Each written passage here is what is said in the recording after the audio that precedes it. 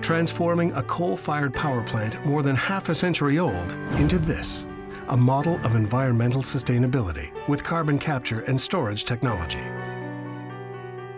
Today, in the province of Saskatchewan, Canada, SaskPower is nearing completion on an unprecedented CCS project at Boundary Dam. It's the world's first post-combustion capture on any coal plant in the world. So it's going to set a new standard, really, for power utilities. A plant like this has never been commissioned ever before. It's not just building a plant and then saying, there you go. We're learning stuff that would benefit the world. It's the first project in the world. It's the only place you can go and actually have a look at a real power plant uh, that's, that's going to have CCS now. You can read about it in books, you can read reports, you can do everything, but ultimately it's actually talking to the real people and saying, look, okay, this is what it said. Really, what did you do, you know? What did you think about that? How did you get there? The knowledge that SaskPower is generating, really, and willing to share through this uh, consortium effort is the most powerful method that we can envision to accelerate CCS.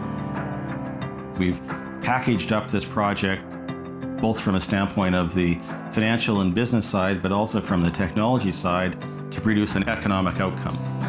I think it's critical. It really is the tipping point of, uh, of old technology meets new, uh, of old regulatory requirements meets a new global requirement when we're in a 400 ppm world that requires massive infrastructure changes. The SaskPower CCS Global Consortium provides members of the global energy community with exclusive access to a knowledge base that has never before existed, providing an opportunity for unprecedented savings on future projects.